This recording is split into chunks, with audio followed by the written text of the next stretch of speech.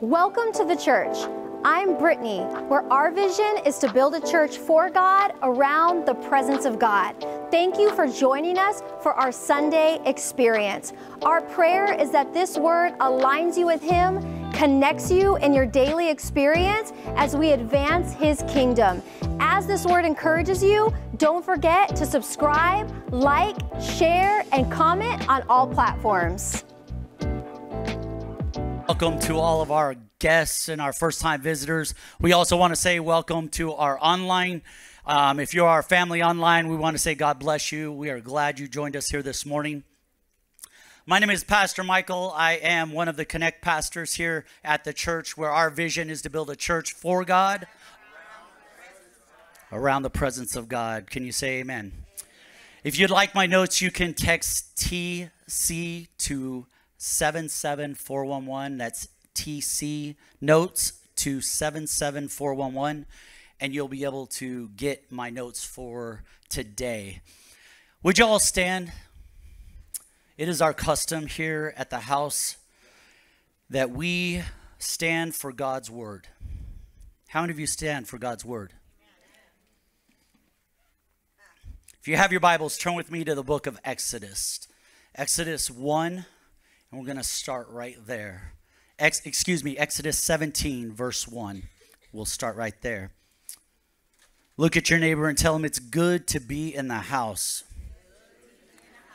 So, y'all better get a little bit louder because I get a little bit louder. The Holy Spirit gets a little bit louder. Can you say amen? amen? Exodus 17, 1 through 3. And at the Lord's command, the whole community of Israel left the wilderness of sin. This was a geographical place. Sin was not the English word of sin, it was a geographical place of Mount Sinai. And he said, move, they moved from place to place. And eventually they camped at Rephidim. But there was no water there for the people to drink. So once more the people complained against Moses Give us water to drink, they demanded. Quiet, Moses replied. Come on. He said, Shut up. Quiet, Moses replied. Why are you complaining against me?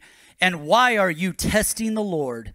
But tormented by thirst, they continued to argue with Moses. Why did you bring us out of Egypt? Are you trying to kill us, our children, and our livestock? With thirst. Dear Heavenly Father, God, we come before you. We step out of the way, Holy Spirit. This is your place. This is your room. This is your house. God, we get out of the way, and I ask that you just bring your word the way you want it today. God, this is about you. This is about your spirit in this place. And we all said, Amen. You may be seated. I was going to bring a message today called The Apple of Your Eye. And God changed the name of my message, and it is going to be Stay Thirsty, my friend. Dos Equis took over this saying a long time ago, and you all know the gentleman that stands there. You all know about Thirsty Thursdays if you've been in the world at any given time. Thirsty Thursday was Stay Thirsty, my friend, and you would drink a beer. But this morning, my message is called Stay Thirsty, my friend. And the ushers are passing out some water. I want you to take this water. This isn't for you to drink right now, but I want every person to grab a bottle of water. If you can drink out of this bottle, you need to have this with you. I don't care if you're three years old or you're 85 years old or 100 years old, you need this bottle today. But don't open it and don't drink it yet. In Exodus 17 3, he said, But tormented by thirst, they continued to argue with Moses. Why did you bring us out of Egypt? Are you trying to kill us, our children and our livestock with thirst? Then Moses cried out to the Lord, What should I do with these people? They are ready to stone me. And the Lord said to Moses, Walk out in front of the people and take your staff, the one you use to strike the water on the Nile. and call some of the elders of Israel to join you. And he said, I will stand before you on that rock of Mount Sinai, and I want you to strike the rock, and the water will come gushing out. Then the people will be able to drink. So Moses struck the rock as he had been told, and water gushed out as the elders looked on. The Bible says that Moses named this place Massah, which means test, and Meribah, which means arguing, because the people of Israel argued with Moses and tested the Lord, saying, Is the Lord here with us or not? All of us have things in our life that we go through. We have trials and we have stuff. I'll say stuff. We have stuff that we go through. We've been known to complain about the little things in our lives. See, some people have things that are going on in their life and they don't know how to control it. But there are some problems in our lives that we can control by just changing and shifting a little bit in our life. We can actually solve some of the problems that we go through just rearranging the priorities that are in our own lives. See, some of these things we can even solve by having conversation with great people and people of God. But there's always a but. But there's some things that can only be answered by prayer. See, prayer is this thing, and you all have heard we need you to pray. We want you to pray. You need to pray. How many of you have a good prayer life? That's all right. Only one person I said, mm hmm. If you don't have a good prayer life, that's where it starts. See, he said, but there's prayer. What it does is prayer, it, it, it tames your thoughts and it tames your emotion. See, sometimes we are driven by our own thoughts and we're driven by our own emotion, but we're not driven by what we hear in our prayers. At times, God wants us just to stop and slow down. And prayers, it quiets our thoughts and it quiets our emotions and it prepares us for the Holy Spirit to speak in our lives. This said, but tormented by thirst. How many's ever been tormented by thirst? Come on, everyone should be raising your hand. You live in Arizona. It's been 119 degrees outside. I'm sure somebody in this room has been tormented by thirst. See, the dictionary defines water as a clear liquid substance. It has no color, and it has no taste, and it has no smell. But anyone that's been around in the state or the state of Arizona, they know that water is essential so you don't dehydrate. See, it falls from the heavens in the clouds and it creates rains and it forms streams and rivers and lakes and oceans. See, water is used for drinking, washing our clothes, just doing all the things of life. Water is used for many different things. But here's a few examples of how water works in your physical body. See, it regulates your temperature and it moistens the tissue that's in your eyes and in your nose and in your mouth. See, it protects your organs, the body organs, and the tissue so it's healthy. It carries nutrients and oxygen to the cells. It lubricates the joints. Anyone have sore joints? Woo! Come on. Any of us that have arthritis, like I've had 14 knee surgeries. I got a fake knee on the right knee and two screws in the left knee. Thank you, Jesus, but I can still walk. Come on. See, it lubricates the joints so they can move, so they're not stiff. See, it lessens the burdens of the kidneys and the liver and it flushes out all the waste in product. And it dissolves the minerals and the nutrients to make them accessible to the vital parts of your body. But by these little couple practices, these are some of the tips that will help you in your daily body. You say, what does this have to do with church? Just watch. See, you start your morning off by drinking a glass of water as soon as you wake up. Studies say that if you do that, even before you drink your coffee, come on, somebody, that's hard. I work for Starbucks. Come on, I know what it's like to drink some coffee. I got to get up and that coffee's got to be running, but it says just drink some water before you do anything. Carry a water bottle wherever you go. How many of you carry a water bottle everywhere? Can I see that hydro? Where's that at? I carry this thing everywhere. I was getting a haircut the other day and I had it and I forgot. The lady at the haircutting place sends me a picture of a water bottle and said, You forget something? Whew. It was 119. I had to turn around and go back real quick because I needed my hydration bottle. See, I set goals every day on how much water I can drink, and you should too. The statistics says that you should actually take about half of your body weight. If you weigh 200 pounds, you should drink 100 ounces of water. It's that simple. That's how much water you need to intake. And then it cuts out the sugary beverages to avoid empty calories. There's a clip I want you to watch real quick.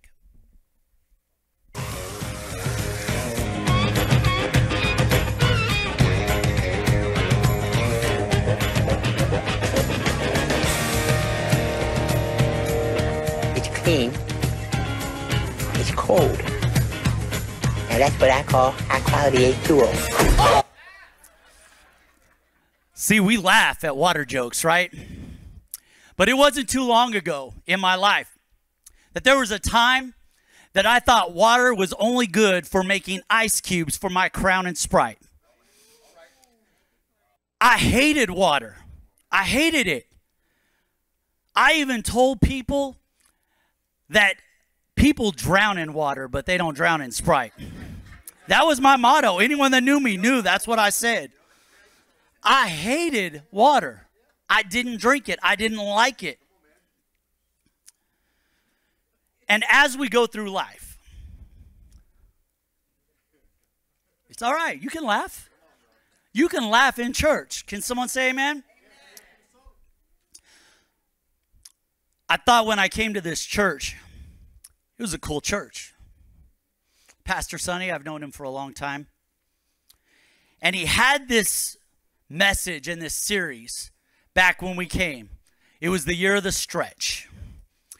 Elder C didn't know that this was in my message, and he told all the men on Marco, hey, go watch this back from when we started, the year of the stretch. And I watched it. It was good. And I thought, man, it stretches in my life. See, at that point in my life, I wasn't where I really should have been. And things started to stretch in my life. I started changing where I was at. I started changing the people around me. I started changing the things that were in my life. I changed what I started consuming and the things that started going out. Because he was stretching me for a certain period of my life and I didn't understand it. But he said, around you, you have to start shifting some things. See, when you shift, you got to put some shift into your life. I'm just going to be real. You got to put shift into your life. Things have to move and begin to change. Otherwise, you're going to forget the F in it and it's just going to be that. You'll hear that in a minute and you'll read that. But you got to keep the F in it because that's a shift in your life to get you out of the stuff you're doing. Can I be real this morning? The next year, we did a really cute message. It was called the Year of the Pace Setter. And we started to stretch. And stretching in the pace setter, you got to stretch before you run. Do I have any runners in the house? Anyone that likes to run? Anyone ever run and forget to stretch before you run? What happens? You cramp up, right? You start doing this. Your life starts getting a little funky for a while because you're limping around. You can't walk straight. You pull a muscle, you pull a hammy, you get cramps in the middle of the night because you didn't stretch the way you were supposed to. And then as the year of the pace setter came, I began to grow just a little bit more. And I said, God, I don't know what this is around me, but things begin to happen. And there was tragedy that happened in our family's life. I lost my little brother in that year of the pace setter. Things began to be hard and difficult, but God was preparing me for a certain time. And then Pastor told us this year that we were going to hunger and thirst. And I thought, oh, that's cool. We're going to hunger and thirst. And we kicked off the year with a bunch of fasting. And he told all of our pastoral care, guess what? We're not just going to fast 21 days in January. Guess what? We're going to fast every month. And I thought, oh my God, I ain't never fasted so much in my life until I came to this church. I hadn't. I like food. I did. I got up to 245 pounds. I liked food. My favorite place to eat is where? Fogo de Chao. And anyone that knows about that, that's an all you can eat Brazilian steakhouse. Come on now. This ain't even in my message. This is extra. You think I'm joking. Come on now. It's Fogo de Chao. I got one of their little cards in my Bible. I forgot it was there till just now. One side says, Yes, please, bring me more. The other side says, No, stop. You need to slow down. You can ask anyone that's ever been to Fogo with me, they never see the red. Ever. Because I like food. Because I was hungry. But Pastor said, You're going to put aside some food this year. And I thought, God, why are you having us fast so much? Why? And he said, Because I want you hungry. And I said, But God, you said it's hunger and thirst. And I said, I don't get this. And he said, But you will. He said, Hold on, I'm not done. And I didn't get this thing, I didn't understand it. See, do we really have spiritual thirst? What does it mean to have spiritual thirst? See, there's some things that being truly thirsty, being truly thirsty for Christ, it will change who you are. And here's a few of the examples if you'll put them up. It regulates the body temperature. See, you stop having a temper with everyone that's around you. You can read them. Uh, these are my notes. It's straight out of my note, just like that. Not even in church. Come on. Some people have a temper. And until they get a little bit of Jesus inside of them, they allow the Holy Spirit to change their temperature, they'll still pop off. They wouldn't let me in the service early, and I need to be in because I didn't have a lanyard.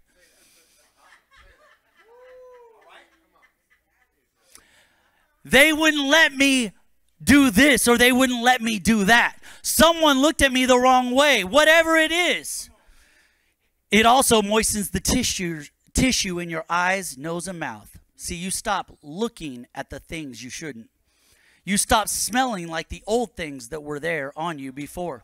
You stop talking about others and start speaking and stop speaking death and start speaking life into you. Says it protects the body organs and tissue. See, he guards your heart. He stops the fiery darts from damaging the tissue in your body. This is my favorite. He carries nutrients and oxygen to the cell. See, he provides life and breath that's in you. It doesn't stop. You say, what does the water do? This is what water does. See, it's not the same as what it used to be it's not the same as what it used to be. It lubricates the joints and it takes the pain and the aches out from the, what's inside of you.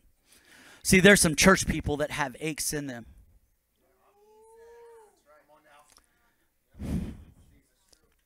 There's some of you sitting here today because God showed me who you are. I know your face, I know what it is.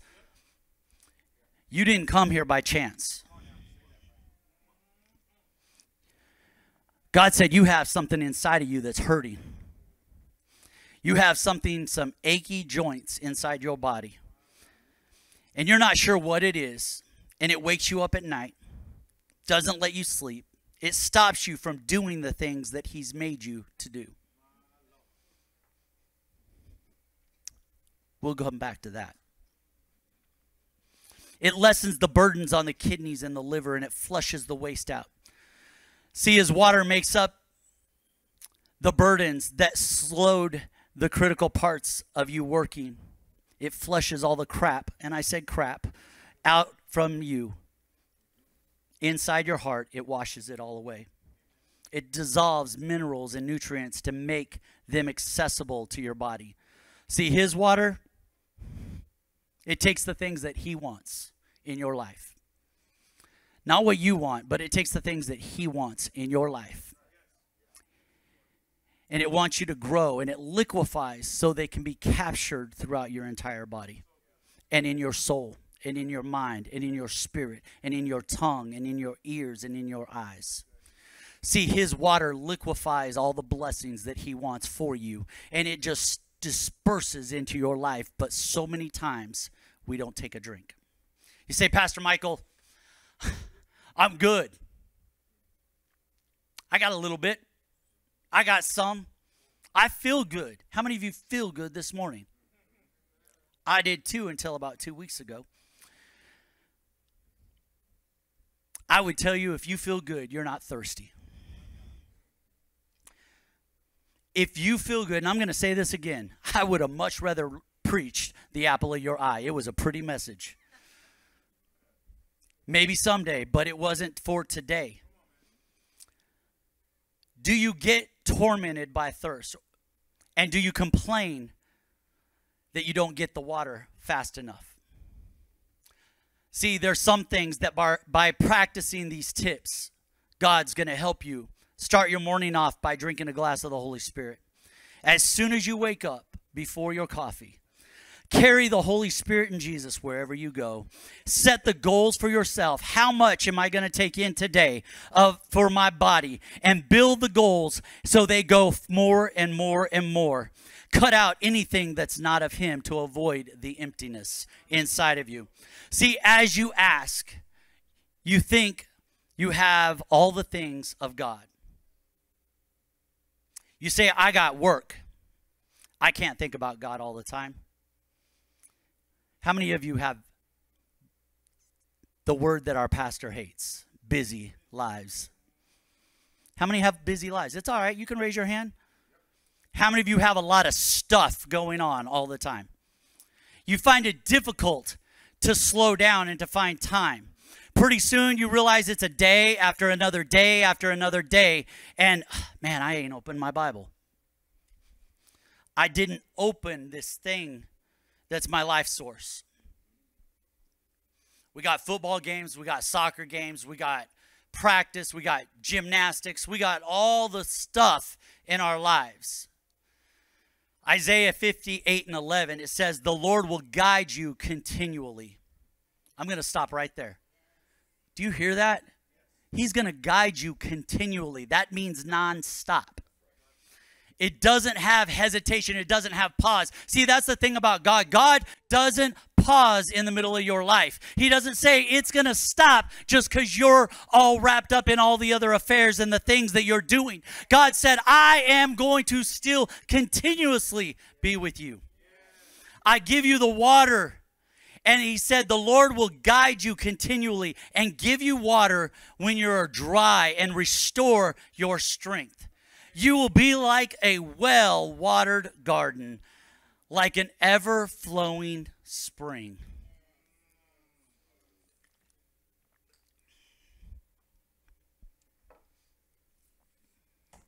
So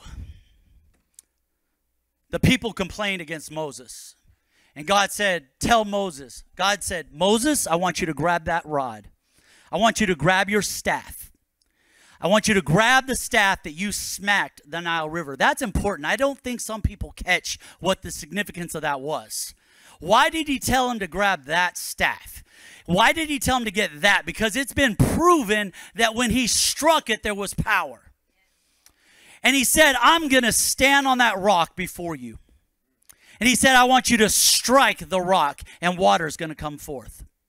See, there's some of you today, if I was just to smack this rock and water would come forth, you'd be like the elders back in that time that just stood and just watched. You wouldn't know what to say. They were amazed. They didn't even go forward to it, they just stood and they watched. See, they could have ran to the rock where the water was, but they just stood there and they froze in being, did God just do that? with the same rod that had already parted the waters. He just said, and if I smack it and water flies out, what are you going to do?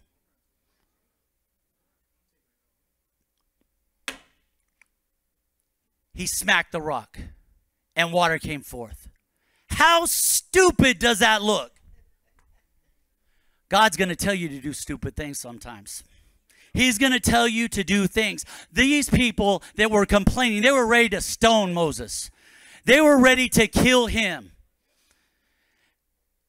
And he said, Pick up a stick and hit a rock. How many times has God told you to pick up a stick and just strike a rock? You're like, God, that is the dumbest thing I ever heard you tell me to do. Why are you telling me to do this in my life? He said, Are you obedient? Or are you going to do what I told you to do? Or are you going to die of thirst? And he said, He picked up the stick, and the water started to gush out, and people just stood around.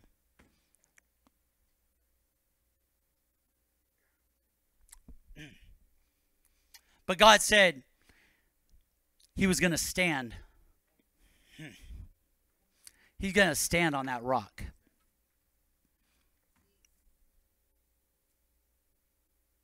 I'm taking my time this morning because some of you need to get what this scripture really says.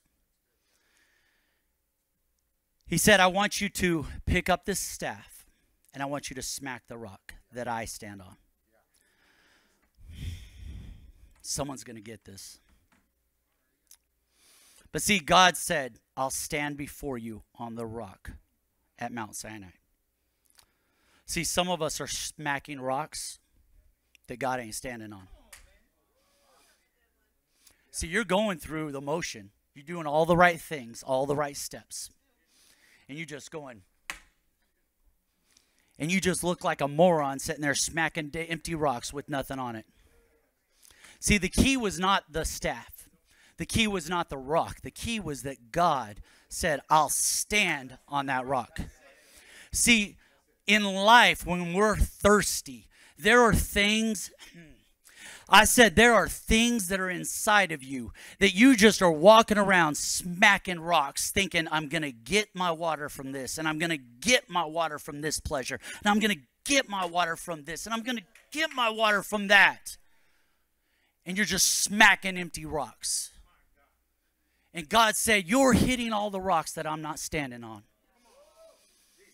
He said, When are you going to be obedient and hit the rock that I told you to stand on?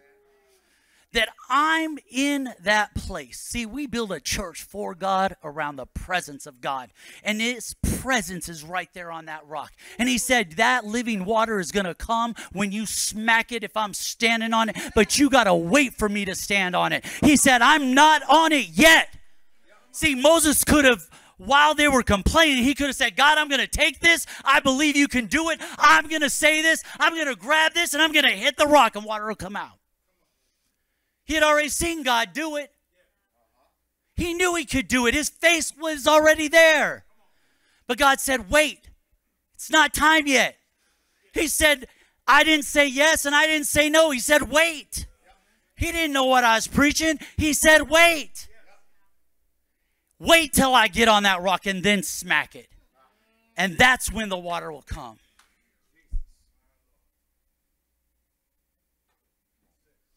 After all the things he's done for us this year, all the things that he's done for you this year, all of the things that are in your life this year, all the things he started doing in 2020 all the things He's done in your entire life. And we still stand in amazement that God could bring water from a rock. See, when you're hungry,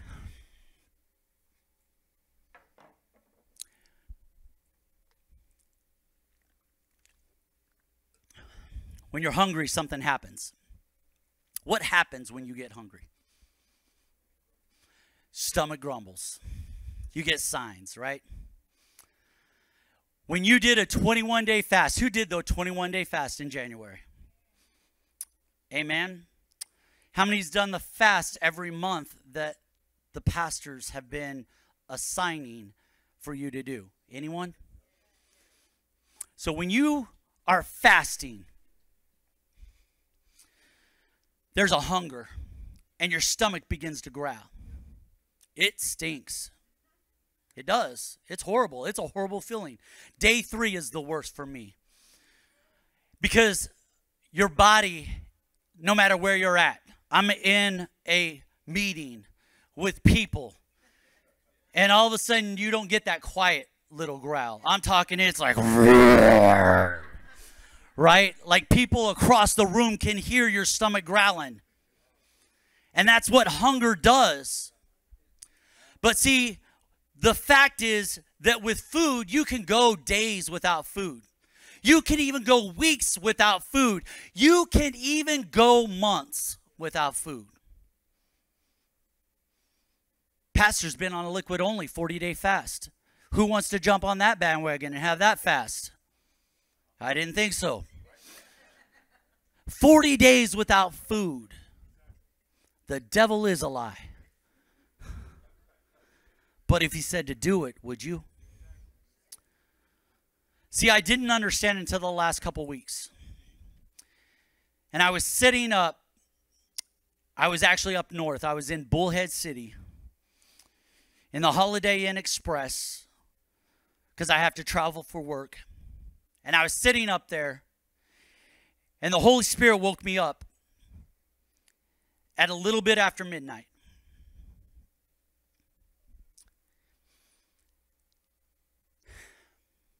The Holy Spirit said, I want you to do a fast. And I've taken back my health. I've started doing something different. I've been on a program that doesn't allow me to fast. But the Holy Spirit said, Who do you trust in?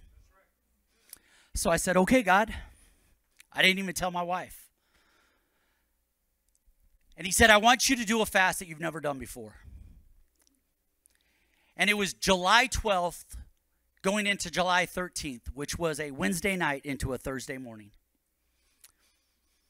And he said, I want you to fast and I don't want you to drink anything. I said, God, I work for a coffee company. We got to taste the coffees. We got to do all these things. God, it's 119 degrees outside today. It's hot. I'm going to get thirsty. And he said, I want you to know what it is to truly thirst. I said, okay. And he said, I want you to read the book of Esther. So at one o'clock in the morning, half asleep, I read the book of Esther, the whole book. And I had read Esther before. And if you don't know about Esther, I don't have enough time to go through the entire thing, but I want you to go back and read Esther so you understand this. But Mordecai had told Esther that there was a decree that was written on April 17th. The Bible even tells us the day. I think this is amazing. That there was a decree made that the following March, on March 7th, that all the Jews would be killed. And they would have, this would also include Israel and all of God's chosen people would be exterminated from the earth. That's what the decree was. And God's plan to have his son come back to this earth as a Jew in the Jewish lands in Israel was in compromise and could have been just wiped out if this would have been fulfilled. But God told Mordecai, I want you to go to Esther. And you need to go tell Esther about this plan. And Mordecai told her, and the law said that in the inner courts, that when anybody went in to see the king in the inner courts that wasn't summoned, they would be doomed to death. It was a death sentence. You would die unless the king hung out his golden scepter. And Esther said in Esther 4 and 16, you can put it up. He said, Go and gather together all the Jews of Susa and fast for me. Do not eat or drink for three days and three nights. My maids and I will do the same. And then, though it is against the law, and I will go into see the king. And if I must die, I must die. So Mordecai went away and did everything that Esther had ordered for him. See, there was something about when God told me to fast, and I didn't understand this until after this fast. See, what happened was during that day, I was talking just like I am now, and I started getting my lip started sticking to my teeth. Anyone ever have that happen?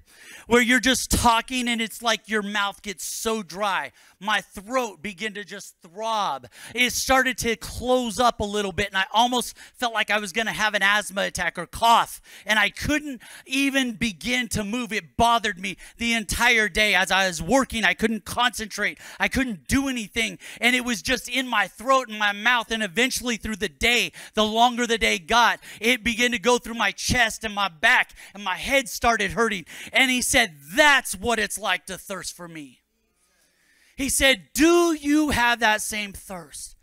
And I said, My God, what are you saying? And he said, I want you to have a place. I want you to be so hungry. I want you to be so thirsty that no matter what you're doing, you think about me. You just want a drink of that little bit of water. I just need a little bit of that just to quench what's inside of me. And God said, That's what my water does. He said, But do you thirst after it? See, he showed me that people are looking for that water in so many different places. They do it through their life. They do it because there's something missing inside.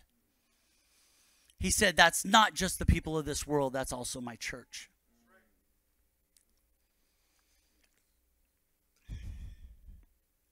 Are you at a place that you're ready to do difficult things for God?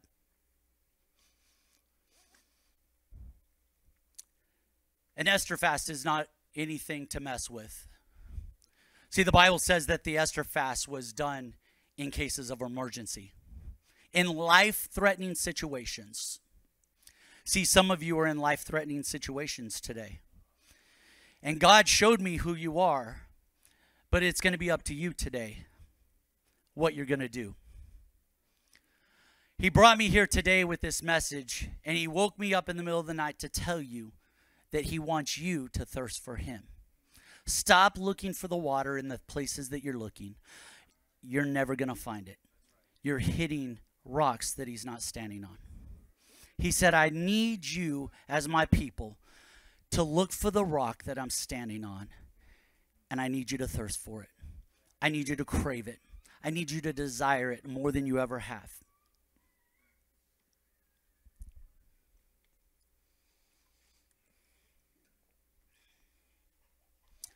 This year has been a year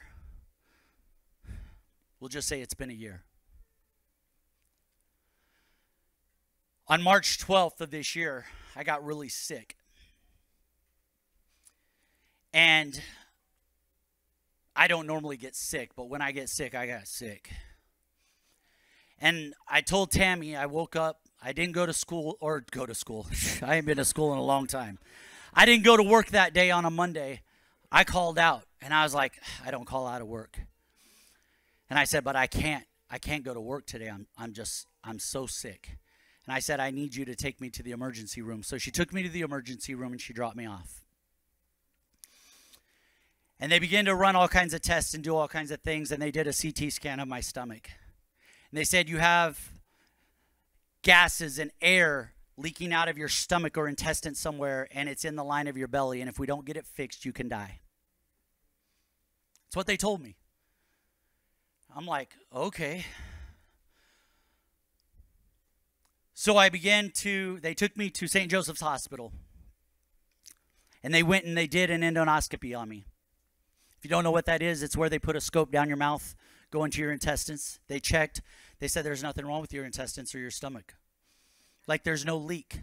There's nothing. We don't understand why the gases are there. And then the doctor, the GI doctor said, You have this thing. And he called it by name, and I don't even know what it is. It's this long somethingology thing on it. And he doesn't even know what to do. He said, I'll be honest, it's a very rare thing. He said, We don't even have a caught or a treatment for it. He said, So we're just going to keep you in the hospital and wait. I said, Okay. So we prayed, and the church prayed. I thought, I feel better. I'm not sick no more. It's all good.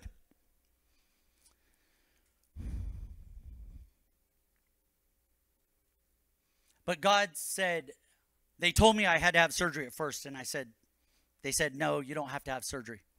You're good. You can go home. They said, but we want you to follow up in a couple months. I said, okay. So I did a follow up in June, and they had me do another scan of my stomach. And of course, I was up north again. I was in Lake Havasu. And I get a phone call from the doctor that says, Hey, there's a large mass on your liver. And you need to go see your doctor right away. I said, Okay. So I did. I didn't understand it. We called a friend of ours that is a doctor. She's a hematologist, oncologist. If you don't know what that is, that's a cancer doctor.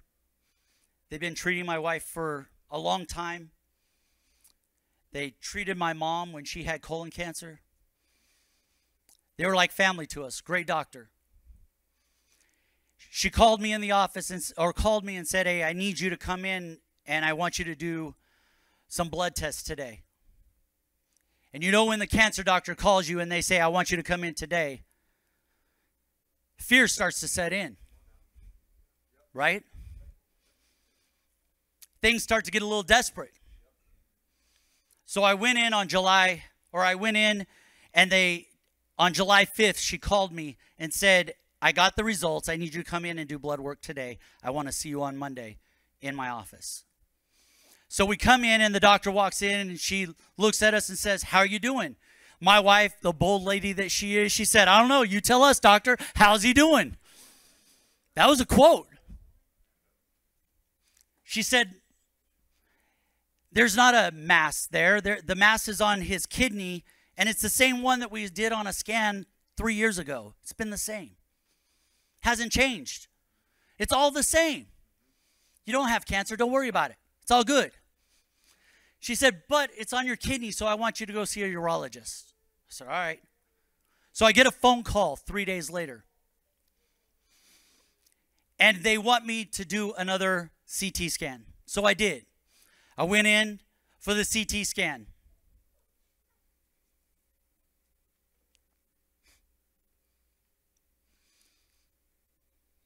And July 19th, they did the CT scan.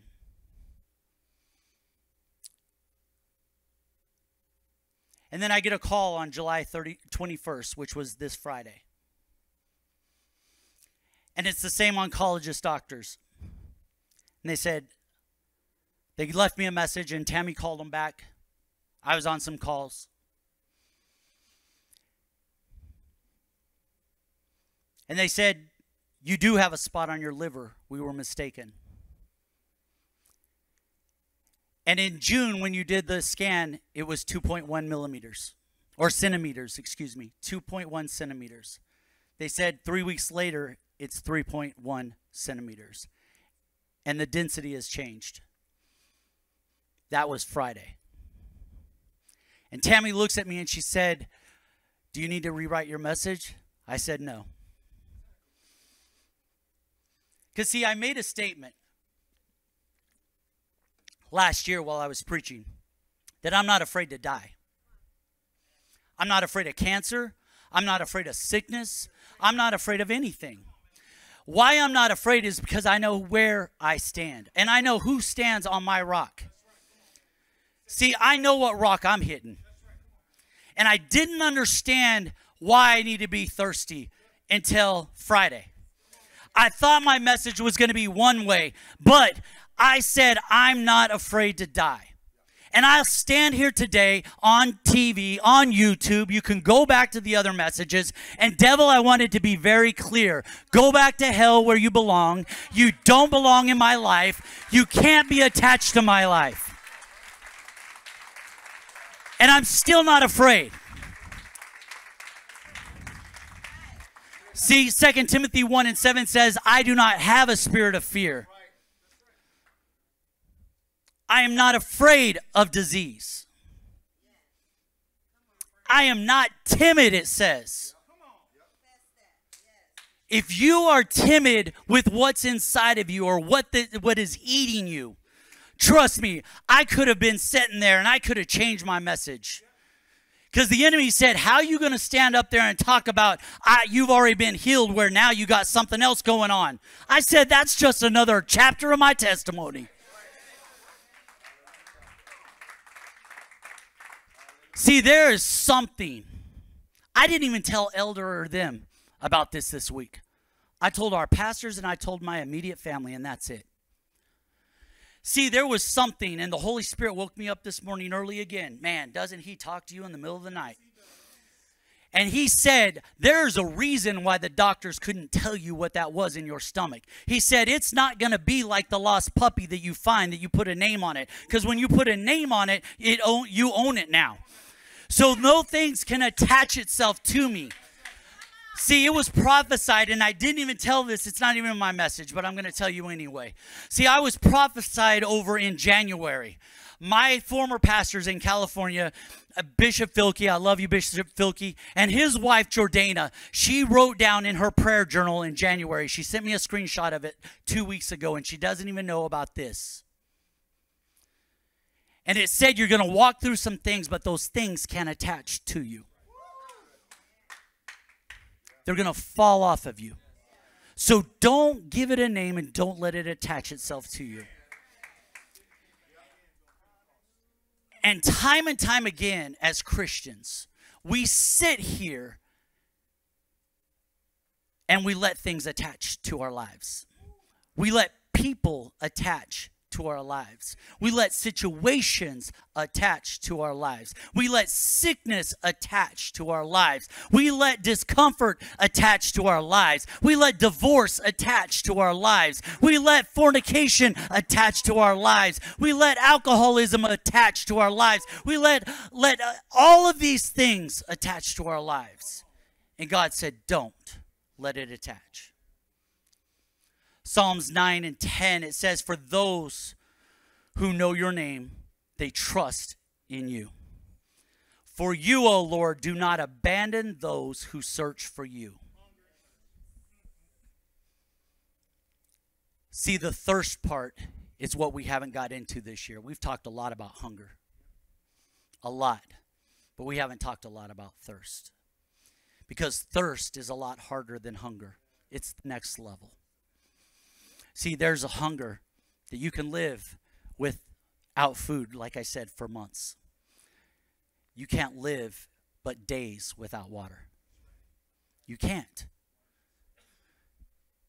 That's why the Esther fast is so valuable. It says you can only do it for three days. Don't do it any longer. It's not even wise. Don't do it. It's only for three days. You say, Oh, I'm stronger than that. I'm going to try to do it. Don't do it don't be ignorant. Don't be striking rocks that God ain't calling you to strike. He said, I've given you hope if you search for me. He said, Those who know your name and trust in you, for you, O Lord, do not abandon those who search for you. But you got to search for him. See, we come, searching for God is not coming to the church. I'm just going to tell you, it's not. This is just like the cherry on top. This is not hungering and thirsting for God to come in, sing our songs, do our worship, do our praise, do all our things, and then go home. That's not hunger and thirsting.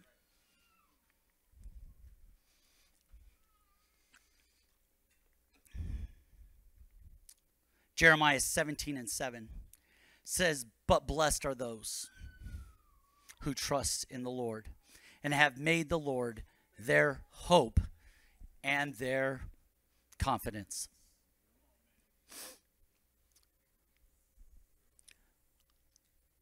So, this morning, I'm going to talk about a fast this week. See, there's some of you inside, you're going to go through some hard things, some difficult things. There's something in front of you down the road that you're about to go. And whatever it is, God said, you have to thirst for me before I can get you through it. It's not enough to just hunger. It's not enough. You have to thirst for me. Are you at a place that you desire God so much that every time you move, your throat is dry? You can't hardly talk. You're distracted. You get headaches. You're all of these things. Your body is just ugh. And God said, I need you to beat that down. Bring yourself into submission. And He's going to call you to a fast this week. And I'm going to tell you what the fast is, but it's up to you on the length of time. See, God wants you to thirst. So He wants you to fast sometime this week. You pick the day, it doesn't matter. You pick the time, doesn't matter. If you work outside, I would suggest not fasting during that time that you're working outside. It's not wise. You're striking rocks that God ain't standing on. Maybe your fast starts at 5 p.m. when you get home in the cool air conditioned house and it goes till 6 o'clock in the morning the next day. I don't know. The time is up to you. But God said, I want you to fast from any liquids this week because it's going to prepare you for something. And when you break that fast, that bottle of water that you were given, I want you to drink it. And why I want you to drink it is I prayed over every bottle before you got them.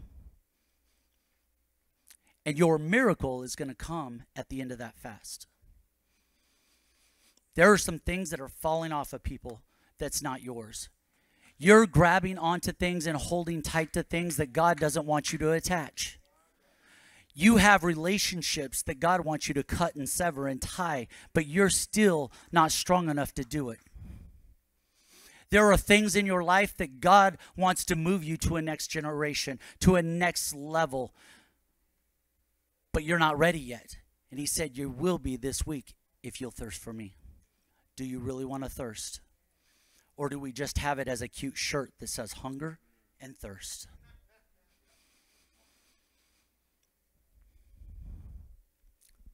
So, the water bottle, I want you to take it with you. And this week, when you end your fast, I want you to open it and I want you to begin to praise. I want you to thank Him for the promise that He gave you. I don't know if you heard that. The promise that he gave you. See, I serve a God that doesn't lie. The Bible says the devil is the father of all lies, right? We don't serve a God that lies. He stands by his word, and his word said that he'll never leave us nor forsake us if we seek him out. He will not abandon you if you seek him.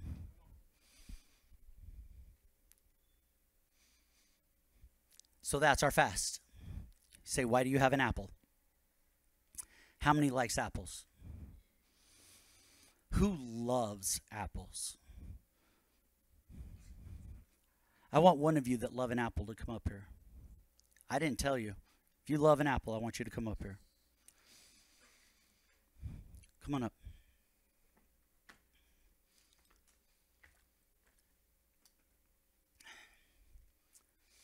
Did you know that there are 7,500 different types of apples? 7,500. There are 2,500 apples that are manufactured in the U.S. Bet you didn't know that, did you? There's a lot of apples. It's called a red delicious apple. I picked that myself. I looked at it. The apple looks good, doesn't it? But what if I told you there was a worm inside of it?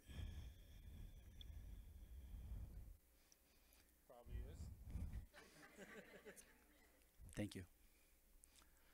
See, God said, there's some of you that are just like this apple here today. You look good, but there's something inside eating you up. There's a worm inside of you that's killing you, and you won't get it out. There's something that's stopping you from doing all that God wants you to do. It Could be pride, could be emotion, could be bitterness, hatred. But inside that apple, God said, You're the apple of my eye. That was my message. That would have been a whole lot easier to preach. But he said, There's something inside of you.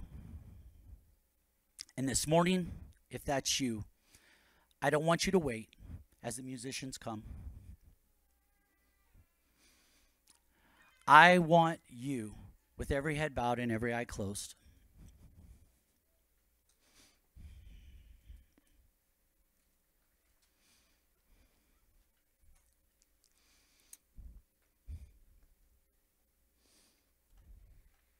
See, in Jonah 4 and 7, it says, But God also arranged a worm the next morning at dawn, and the worm ate through the stem of the plant, so they withered away. This morning, God doesn't want you to wither away. And you're dangerously in a place. It's life or death. God showed me it's life or death because there's things that you're going through that will change who you are and how you walk depending on how you respond. God said, I'm placing everything in your court. I'll do it like I said I'd do it, but you got to thirst. It won't be your way. Thank you so much for joining us here today. We pray that you were blessed and stretched by today's word. Maybe you need a prayer or have a question for us here at the church. Make sure to fill out our contact form on our website at thechurchphx.com and stay connected with us on our Instagram and Facebook at the Church PHX. We look forward to seeing you next Sunday at our 10 a.m. Sunday experience, either in person or online. And remember, we are the church, building a church for God around the presence of God.